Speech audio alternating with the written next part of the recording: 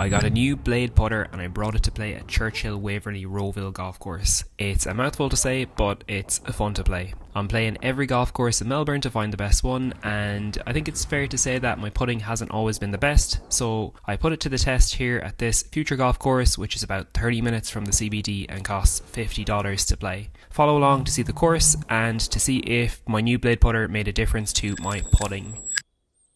Hole 1 is a par 4 at 301 metres and I'll be looking for a new driver next because I hooked this shot straight into the trees. I recovered well and had a pitch at the green but unfortunately I managed to 3 putt from here.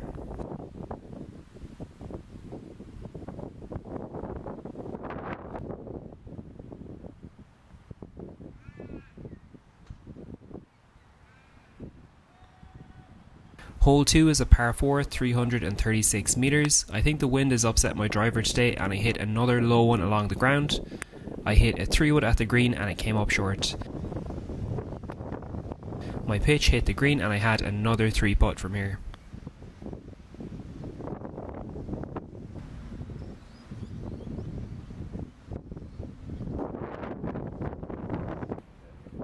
Hole 3 is a par 3, 149 metres. I hit a 6 iron and I pushed it slightly right.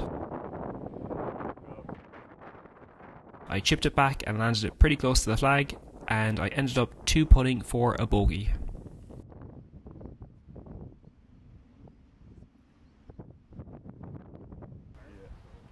Hole 4 is a par 4 at 331 metres. I hit a 3 wood off the tee and hit the fairway, but I caught my 9 iron a bit fat and it came up short of the green. I chipped it close and had 2 putts from here for another bogey.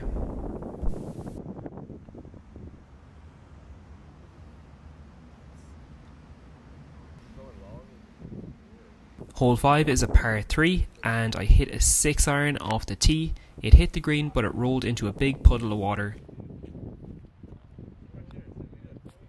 I decided I wasn't going to putt from here so I just scooped it out and proceeded to 3 putt from here for a bogey.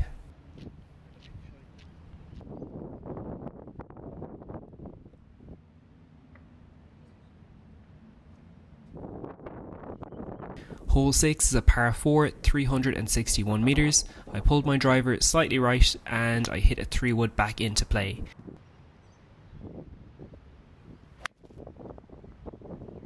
I managed to hit my green with an 8 iron, but I had a long putt for par.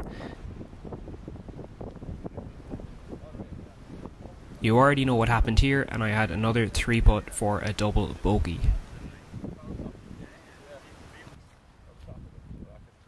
Hole 7 is a par 5, 470 metres. I pulled my drive into the trees and slung it back into play.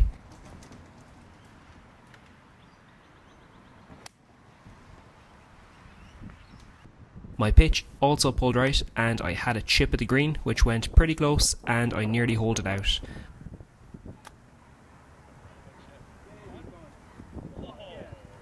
I had a decent attempt at this par putt and I ended up with a bogey here.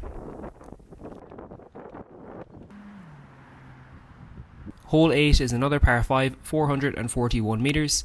I went with a 3 wood off the tee and followed it up with another 3 wood off the carpet. I hit a wedge just over the back of the green and had an outside chance of birdie.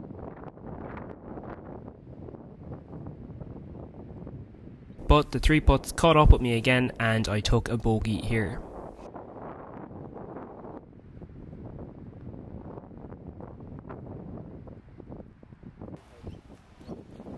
Hole 9 is a par 3, 135 metres. I hit a 7 iron at the green and came up just short.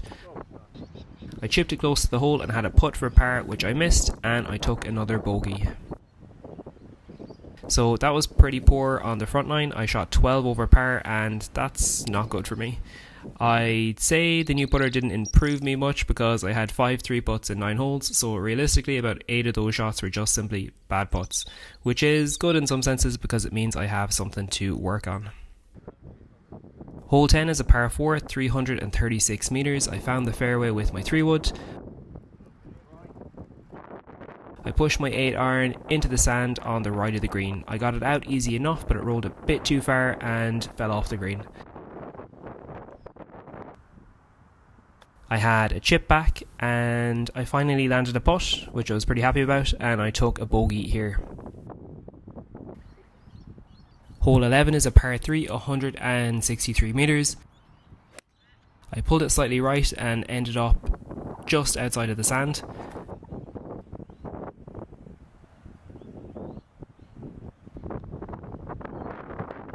I missed the initial putt but got a good second one and took a bogey. Hole 12 is a par 4, 339 metres. My 3 wood just rolled off the fairway and I got stuck behind this big tree. I tried to just knock it back into the fairway. My next shot came out a bit fat and it left me with a chip at the green.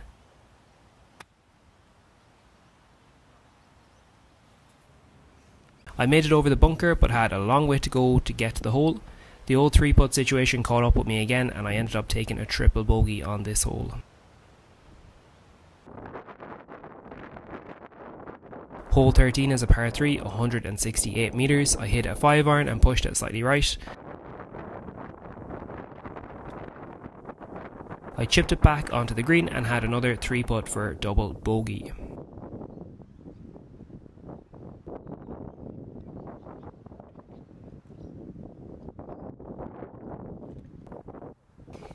Hole 14 is a par 4, 337 metres. I hit the drive onto the fairway and followed it up with a good 3 wood.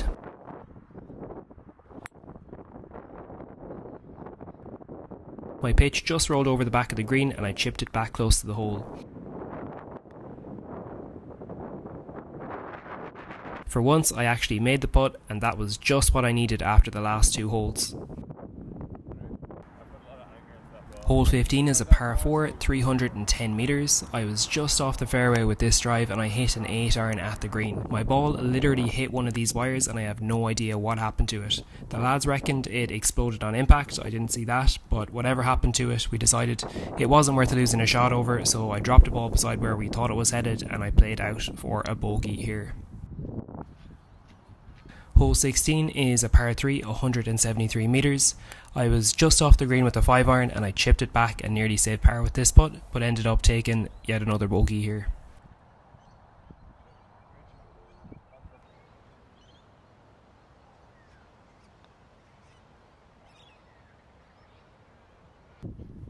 Hole 17 is a par 4, 311 metres. I ended up in the trees here and pitched it back out of the trees and into a sand bunker.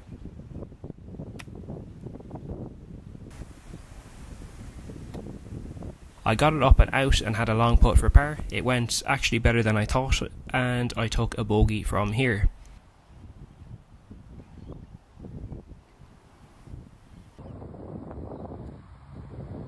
Hole 18 is a par 5, 433 metres. I hit my 3 wood twice and had a pitch at the green.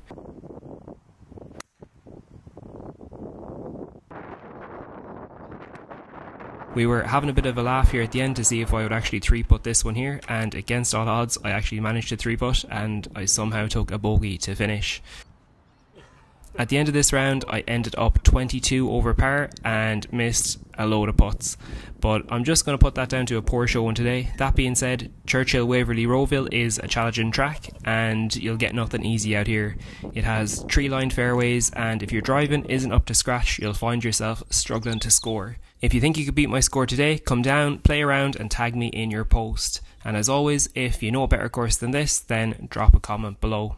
If you made it this far, follow along to see more of Melbourne's golf courses.